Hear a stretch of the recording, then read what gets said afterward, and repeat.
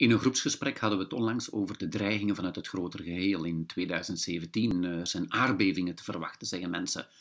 Trump, uh, klimaat, uh, vluchtelingen. Het blijft maar aanwezig. En iemand zei uit de groep: We leven in tijden van licht en duisternis. Van de, de hoop en het vertrouwen.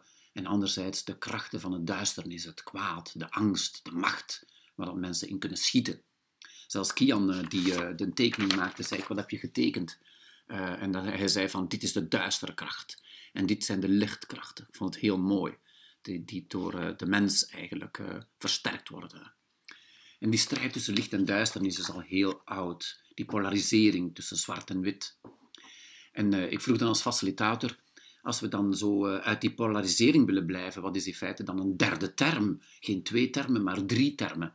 En iemand anders zei uit die groep, de derde groep is eigenlijk uh, de zwijgende mens, de stille mens, die eigenlijk uh, probeert zijn leven gewoon uh, verder te laten lopen, probeert niets te voelen van wat er allemaal boven onze kop hangt.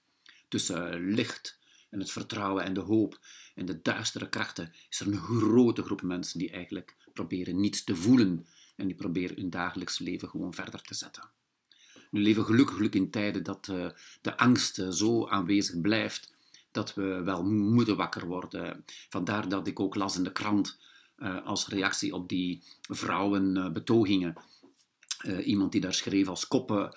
Um, de grote boodschap is dat wij meer tot activisme moeten komen, meer onze stem moeten laten gelden, opkomen voor de wereld waarin dat we willen leven. En dat is ook hetgeen dat we hier geschreven hebben, Anne en ik. Wij zijn gelukkige activisme.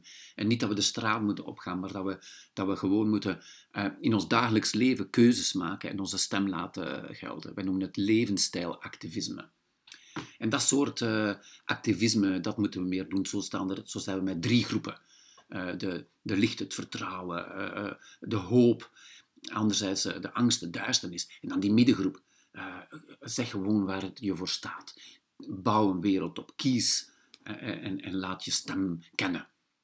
Dat is een nieuwe vorm van activisme ook.